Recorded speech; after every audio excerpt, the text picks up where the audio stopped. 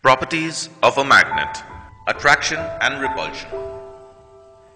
Let us learn from a single experiment that like poles of a magnet repel each other, whereas unlike poles of a magnet attract each other.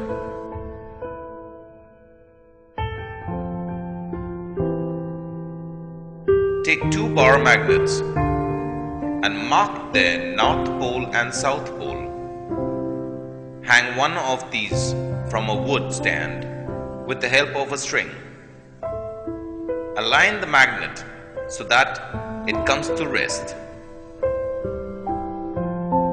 Now bring another bar magnet near it.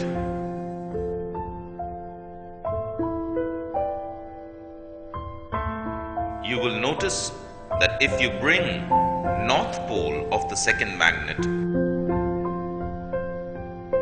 close to south pole of the suspended magnet, both the poles attract each other.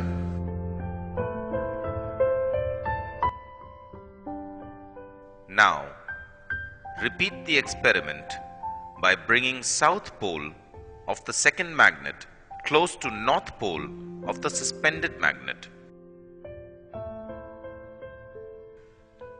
You will notice that the two magnets get attracted towards each other again.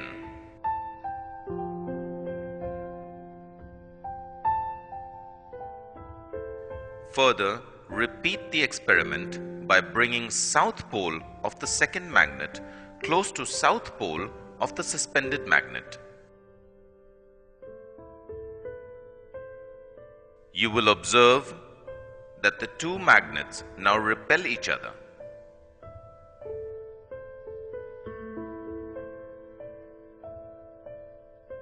Similarly, when you bring north pole of the second magnet close to north pole of the suspended magnet, the two magnets still repel each other.